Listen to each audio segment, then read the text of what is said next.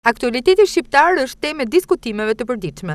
Luhatjet e humorit, tensionet e inskenuara të politikanëve, lëvizjet dhe kthesat e papritura komentohen kudo dhe nga të gjithë. Por, si paraqiten zhvillimet e fundit në këndvështrimin e intelektualëve durrsakë? Për mikrofonin e Radio Televizionit Adrianet, poeti Agim Bajrami vlerëson me tone optimiste lëvizjen studentore, e cila rindezi shpresën tek shoqëria shqiptare. Lëvizja studentore, për mendimin tim, është një lloj risie në qetësinë që ka karakterizuar këto këto vite shoqërinë shqiptare. Më shumë se një protestë, unë lëvizjen studentore e shoh si një reagim ndaj mësimit me të keqen, ambientimit me të keqen.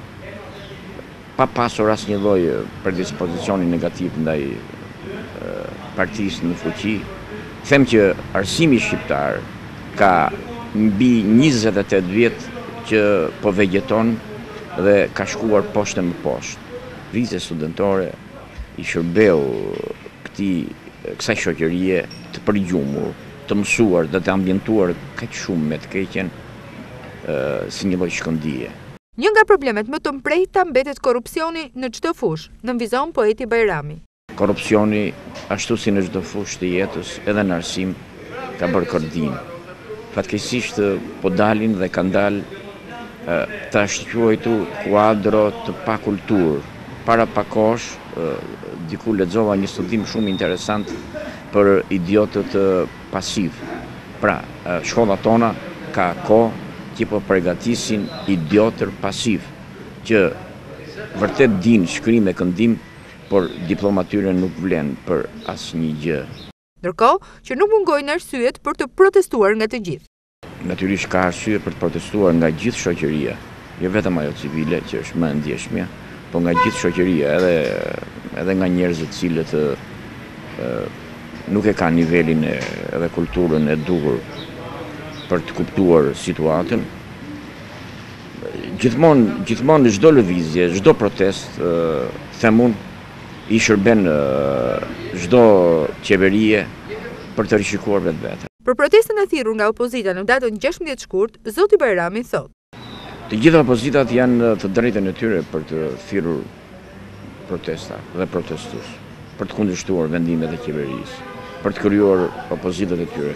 Fatkeqësisht, opozita shqiptare, për mendimin tim, ka mbetur vetë deri në kuadrin e fjalëve dhe të demagogjisë. Nuk jam kundër Domethënë protestave natyrisht. Thash protestat, protestat janë erëra që fryjnë për të pastruar ambjentet e ndotura të shoqërive. Për mua opozita nuk e ka kryer aq sa duhet misionin e saj. Nuk ka qenë aq nuk them të jetë radikale, nuk jam për radikalizmin, Por nuk ka mundur dot të gjejë mjetet e duhura për të dhënë versionet e saj dhe alternativat e saj për aktualitetin e kësaj shoqërie shqiptare. Pse, çfarë i ka munguar? Them që I ka munguar konkretësia. Ne jemi shoqëri të cilët akoma nuk e kemi gjetur rrugën tonë të ecjes drejt Evropës.